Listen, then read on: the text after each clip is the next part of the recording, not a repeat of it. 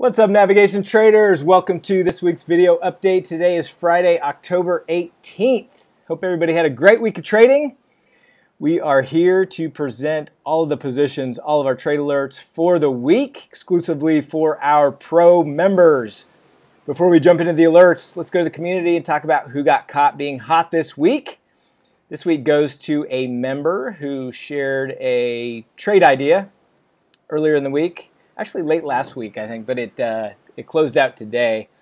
Ended up being over a 70% winner. It was a weekly double calendar in SPX. It was actually a little bit different than the way that we set it up, but it was a great find because the risk reward ratio was excellent and everything was great. So I actually took it as well. It wasn't an alert, but hopefully some uh, some of you others took it as well. Ended up being a 70% winner. And as I said here, if you are looking for a way to win the Hot Award, posting trades that makes us money is always a good bribe. So please help me in congratulating Niraj S. Congrats, congrats, Niraj. You got caught being hot. And for your contributions, you get some navigation swag. So congrats, pick yourself up a t-shirt or a mug and sport it everywhere you go. Everybody's going to be wondering what a trade hacker is, and then you can let them know. So congrats. Uh, let's jump into the alerts for the week, starting with Monday the 14th. First trade that we put on, 14th, was XRT. So we, we added a short strangle in XRT with 32 days to expiration. Uh, implied volatility had popped up. The IV percentile was at 54 when we entered this trade. So if we go to the platform and take a look at XRT, you can see it was when we put it on, it was it was up above that 50 level. It contracted significantly, and, and then it popped up a little bit today, uh, but still in good shape. We've got a uh, about a 50, almost 60 dollar profit so far. Just waiting for some more time to pass before we do anything there. You'll notice it's kind of a, a tighter iron condor. Reason being is XRT is only a 40 some, a $42 product. By the way, if you hear some noise in the background. I'm not at my normal trading battle station. I am uh, I'm suffering here on the hardcore beaches of California. My room is right over the beach, and so if you hear some waves or things going on, that's what it is. So sorry, I have to deal with it. So unfortunately, I know it's tough, but but uh, I'm gonna have to share it with you guys as well. Uh, so anyway, that's XRT. If we go back to the trade alerts, next trade, another opening trade. We did a, a new iron duck in SPX. We did this one out long term with 21 days to expiration. Uh, I, have talked about, you know, if, if the market is kind of up, if implied volatility is lower, sometimes we like to go further out, collect more credit. Whereas if implied volatility gets higher, sometimes we'll do some shorter term trades in the iron duck arena. So in this case, we did a 21 day. Uh, uh, in this one, and, and the other kind of difference here than, than exactly what I taught in the course is typically we're doing these one strike wide, which is five points. In this case, we did it two strikes wide, which is 10 points on that call spread. And basically what that does, it gives us a smaller, uh, smaller beak profit, but in the max profit in the duck head area, it gives us a larger credit. It gives us a larger max profit. So just kind of a preference uh, to kind of layer these in at different uh, with with different kind of widths. On SPX, we're typically only going to do five or ten points wide on that call spread. In this case, we chose 10, and you'll typically get those opportunities where you can still have no risk to the upside and a much bigger uh, max profit when you go a little bit further out, a little bit longer duration. And so let's take a look at that one. So if we go to SPX, we actually have two different iron ducks in SPX now. And so if we widen this out so you can see it a little better, let's scoot this up so you can see all the strikes that we have. So this is the one that I just mentioned. So you can see the, uh, the duck beak profit is about $135. So if it continues to rally and uh, ends, ends up anywhere in this beak profit area, we make 135 bucks. If we're able to get it to come back down into this max profit area, we uh, we have the potential to book over eleven hundred dollars, one thousand one hundred thirty-five. So uh, right now, if we put the price slice to break even, uh, you know, right now it's at over ninety-two percent probability of uh, of of expiring inside that uh, that break even. So we're in good shape there. The other iron duck that we have is this one here, which is in the uh, October 25th options. And you can see right here, now the market's closed, so that, that P&L line may not be quite accurate.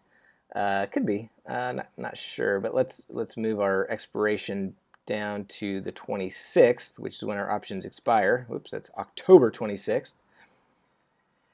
And so you can see we got about a 96% chance of, of making money on this one.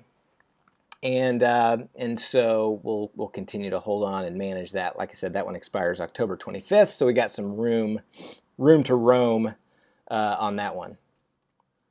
Next alert was a closing trade in Goldman Sachs. So we had a long put vertical on that we initially put on for some short delta, some short bias, and uh, held it rolled it for a couple cycles, uh, held it through earnings and after earnings. Even though a lot of the banks had uh, the prices went up in the stocks after earnings, Goldman actually went down, which was helpful for us. We ended up just closing it out after the earnings announcement, booked a nice profit, and so we are out of Goldman Sachs. Next trade was a closing trade in KRE. So we had we we had two different pieces of sh- two different short strangles in KRE. This was our last one, and we ended up closing it out. Booked a nice profit on KRE overall. Implied volatility has contracted significantly in KRE, like it has across the board. And so, well, it actually popped up today. I didn't see that towards the end of the day, but um, so we may, if, if implied volatility stays high in the next week, we may look to re-enter this. But we are out now, booked a nice profit on KRE overall. Next trade, closing trade in Beyond Meat. This was a, uh, this was unfortunate. Beyond Meat, we had a, uh, we had an earnings trade. Actually, it was, I'm sorry, it was a broken wing iron butterfly. This was not over earnings. Uh, priced moved lower, just can continue to keep falling in Beyond Meat. We ended up just closing out for a loss. Let's go to Beyond, check out the charts, BYND. Um, I mentioned this uh, on in the community as well. We put this on on 1010, ended up taking it off on the 15th, and you can see it just continued to slide uh, the next few days as well. But you know, this is the kind of thing. If we zoom in a little bit, I mean, this is the kind of thing where uh, you know, we have a huge buffer to the downside on these iron ducks, or in this case, a broken wing iron butterfly. But this thing dropped over 12% in three days. So you're just you're not gonna you're not gonna win that battle when you're doing delta neutral or range bound type type trades. I mean that's a that's a huge move, and it's moved significantly lower since then as well. So took a loss on that one, which is going to happen. You know, I've had I had some uh, conversations with a fo- couple folks via email and the community and uh, you know they're saying, know, gosh, I thought these were 90% winning trades, and the reality is they are. Or in this case, a broken wing butterfly is closer to 80. But guess what? That also means 10% or 20% can be losers. So just because it's a 90% win percentage doesn't mean it's 100%. And so it, it's really important to continue to keep your position size in check to make sure you know those losing trades don't uh, don't hurt you. So uh, took a lo- loser there, but that's okay. We've had quite a few other winners. Next trade was a rolling adjusting trade in 6B. So this is the British pound. Uh, these were in the November cycle on the as the way TOS displays them, with the cycle with 23 days to expiration. So we rolled it out to the December cycle with 51 at that time, and we rolled up rolled up our puts. So the puts had very little value in them because the price had run up, breached our short strike, to the upside, breached our short call, so we rolled up our puts, and with 23 days, we just rolled it out to the next cycle. So if we take a look at 6B, and this thing's just had a crazy run. Now, keep in mind, there is a Brexit. We talked about this in the community as well. There is a Brexit uh, situation going on this weekend, I think on Saturday over the weekend. And, um, you know, so implied volatility has stayed uh, pretty bid. If we look at FXB, which is the corresponding ETF, you can see IV percentile 87, IV rank at 81. So really high. These, I mean, these options are pumped up in anticipation of that announcement. And so there was there there was some back and forth in the community with a couple people about our 6B position. You know, do we do we take it off because of this announcement? And the answer to that as far as we're concerned, is always no. Uh, we don't we don't we don't make decisions based on news. We're in this trade because implied volatility is high. We're in this trade because uncertainty is high, and that's what makes the option prices elevated. So, if this thing explodes higher over this weekend, you know that that is going to hurt our position. We're sitting right here with our break evens about right here, you know, so just not too much room to the upside. So kind of the conversation in the community was, hey, you know, if, if you're if you're nervous about this and eh, to the point where you're uncomfortable with the amount of risk you're taking, then close it out. But but for us, we keep our position size small enough relative to our account size so that no matter what happens, you know, this isn't going to this isn't going to hurt us. I mean, we don't like losing money by any means, but the the the fact is that most likely scenario is that implied volatility is going to contract after this announcement, which is what we want, right? That's going to benefit our position. The other thing I, I look at is, okay, look at this massive move before the announcement. Is that an overreaction? Well, we don't know. I mean, this thing could explode higher. Nothing says it can't, you know, but it's almost like, okay, how much of this is already priced in? And if it is overreacting, if it is if it has extended itself to the upside and price does move down some and, and implied volatility does contract, well, guess what? That's exactly what we, whoops, how did it switch? Uh, that's exactly what we want. We would love price to come down some. We want implied volatility to contract. So for us, we're keeping this position on, but everybody has to make that decision for themselves. Just because we have this position on and we're comfortable with this risk doesn't have anything to do with your risk tolerance. So make sure that you are always trading according to your risk tolerance and your uh, you know position sizing and account size. Next trade, rolling adjusting trade in DE. So we rolled our short call vertical in DE. We had we're in October with just two days. So anytime within expiration week, we're going to look to roll these, and this is the defined risk spread. So we just rolled this out to the next, uh, actually we skipped over November, rolled all the way out to December with 65 days to expiration. Now we typically like to stay in that 30 to 60, uh, but with a defined risk, more of a directional play, we're, we're okay with going a little bit out. So in this case, we just skipped over November, went right to December. Uh, we're keeping this on for some of that short delta exposure uh, in our portfolio. We just adjusted the strikes accordingly. And so if we take a look at DE, uh, it's right here, so pretty close to where we rolled it. Just looking for some more downside to benefit that trade. By the way, uh, speaking of short delta, um, I know we got a lot of new members here, so just to just to kind of clarify, when I say short delta, we like to keep a a range of of having a little bit of short bias in our portfolio. Anytime you are trading range bound premium selling type strategies, the, the biggest thing that can hurt you is those violent moves lower. So we like to keep a little bit of a short bias. And the way that we gauge that is based on the amount of beta weighted short delta. So, uh, for example, so our, our, our, our, short bias amongst all our positions in our portfolio. And the way we look at that is we beta weight all our positions to SPY. And if you don't know what that means, um, what I would suggest is go to our blog. There's a couple blog posts and videos One's called uh, How to Trade Options Like a Professional. The other one is called uh, How to Delta Hedge Your uh, How to How to Delta Hedge Your Portfolio. I think. Anyway, they are uh, a couple good videos that kind of explains that whole concept, and um, it's important to know just you know you don't have to follow exactly the way that we do it, but it's important to at least be aware of what your overall directional bias is of all your positions. Because if you put on a bunch of positions and they end up being all kind of short bias positions, well, guess what? If the market rallies and rips higher, you're going to get killed. Conversely, if all your positions are bullish, then and, and the market tanks, you're going to get killed. And so we like to, we don't always just try to keep it delta neutral, but we have a little bit of a short bias. And so the parameters that we use and that we've we've kind of molded over time to kind of fit what we want to do is we have a range. So the amount of theta that we have in our portfolio, which is the daily time decay.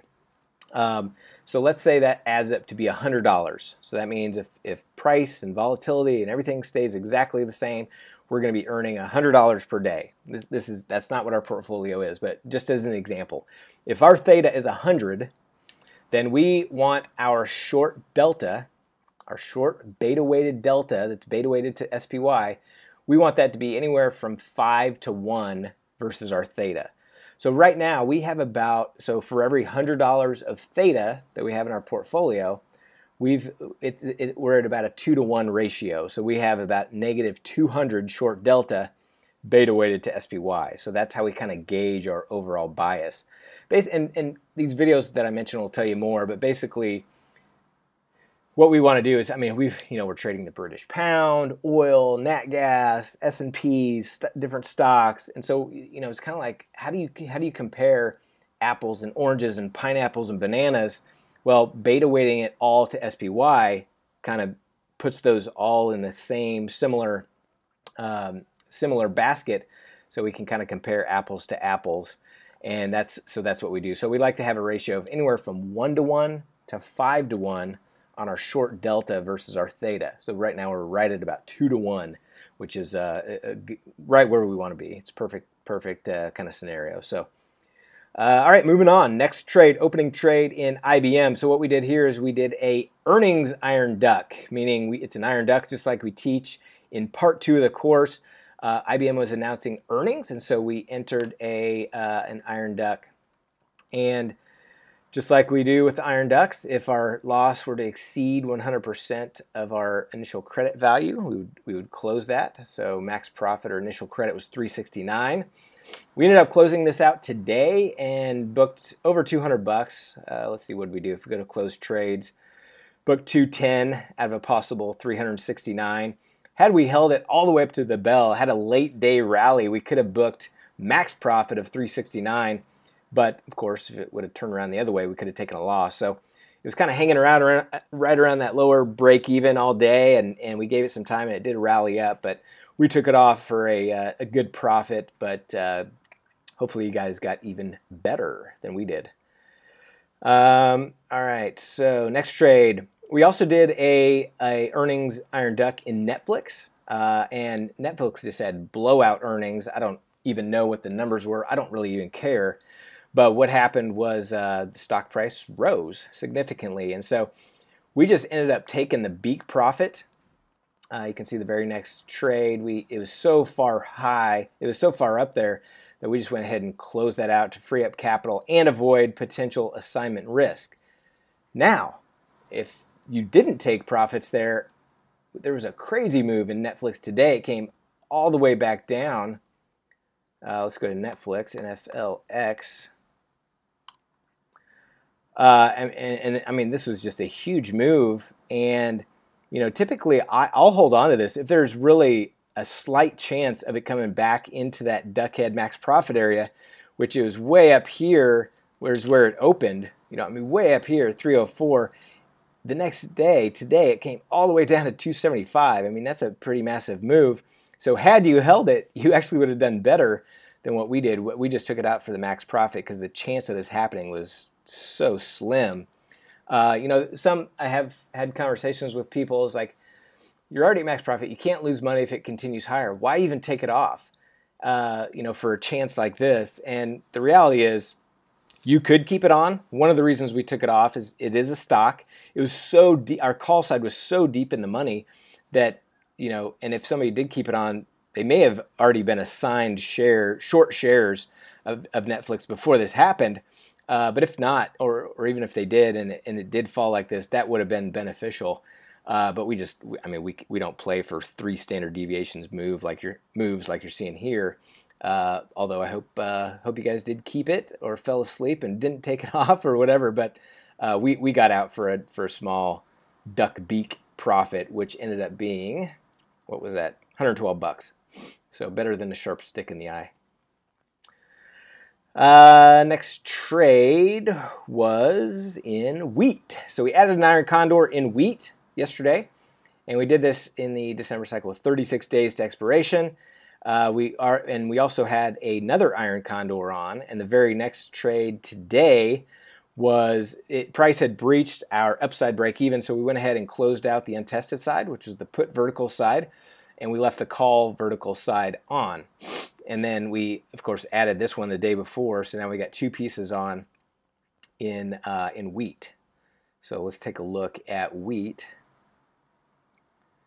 Having a nice a big move to the upside in wheat over the last several days. So here's the here's our remaining uh, call vertical side. So the goal is to hold this. I mean, we've got what do we got? 30 yeah 35 days. So we've got some time. So if price comes back down into range, we'll close that one out and uh, you know potentially book a profit on that piece. And then the one that we added, we added a new centered iron condor around the current price. Same cycle because there's 30 some days to expiration. So we didn't go out to the next one, but this one's dead centered. You can see right here. So just holding those two pieces to see what happens. And then the last trade was the uh, the exit of the IBM that I mentioned. Got out for 53 cents, booked a nice profit there, and so we are out of IBM. So those are all the trade alerts. Let's take a look at some of the other positions. I mentioned 6B. We've got oil. Uh, we've got some profit here in oil and uh, just holding that. If we get a little bit more upside and some more theta decay, we'll book that one. Obviously, if price are to drop and rip lower, we'll, we'll need to roll our calls down. We've got some time in here. We've got 28 days to expiration in that spread. ES, we've got a long put vertical that we've just been holding for some of that short delta exposure in ES. You can see prices out, right outside of our range, just looking for some downside to benefit that one. Gold, we've got an iron condor in here, dead centered, got some profit, not quite enough to take off yet. Uh, trying to battle back to, to profitability in our gold trade. Natty Gas moving up today, getting back closer to center, so we got some profit in this since we made the roll. Just trying to get back to profits in nat gas. Bonds, We've got uh, this adjusted strangle here. And so we could use a little bit of more upside, just more time to pass, theta decay to benefit that.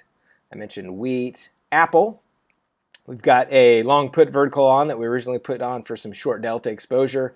You can see since we since we've rolled this, price is pretty close to where we rolled it. Just looking for some more downside to benefit that one. I mentioned DE, DIA.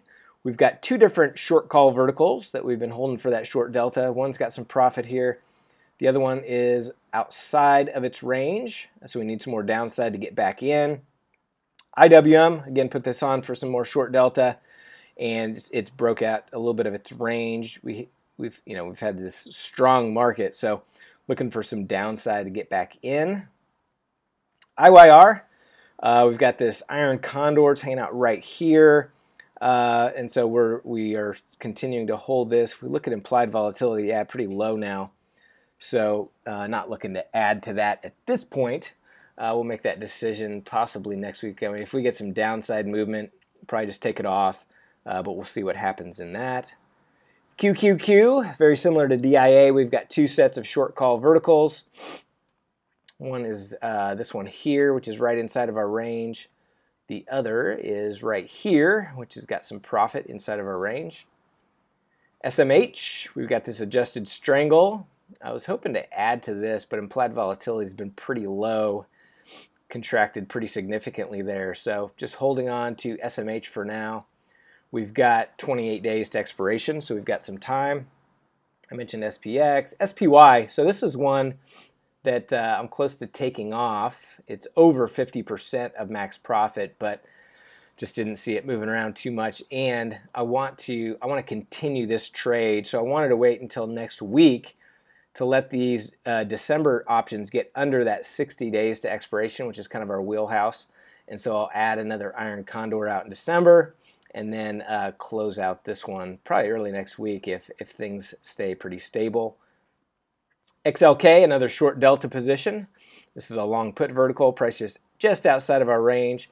So looking for some more downside to benefit that. And I mentioned XRT. So those are all the alerts. Those are all of the positions. Have everybody have a great weekend. We will talk to you next week.